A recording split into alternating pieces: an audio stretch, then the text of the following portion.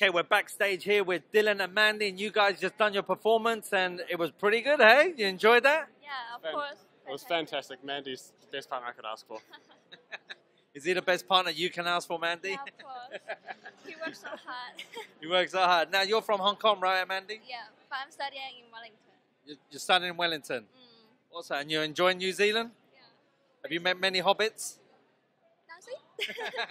he's not a hobbit, he's pretty tall.